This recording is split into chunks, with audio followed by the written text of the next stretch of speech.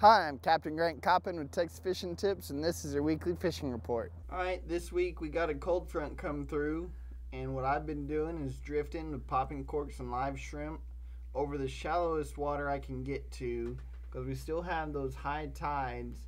Some of these humps that are just underwater have good redfish on them and catching a few nice trout. Over here in Packery Channel, we've been catching some nice redfish from the jetties all the way through the channel um, live finger mullet's been working good, but also live shrimp. Um, with this cold weather, it's really got those redfish running through here. All right, everybody's getting excited with this cold weather coming through. High tides. Get out here, look for those big girls. They're gonna start biting now. We got that water temperature going down. Uh, put your waders on. Get out here and wade fish. Uh, throw corkies, paddle tails, top waters and uh, you'll catch some real nice trout.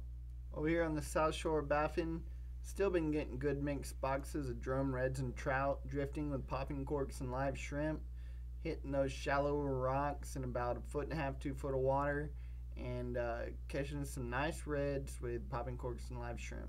I'm Captain Grant Coppin. Thanks for watching.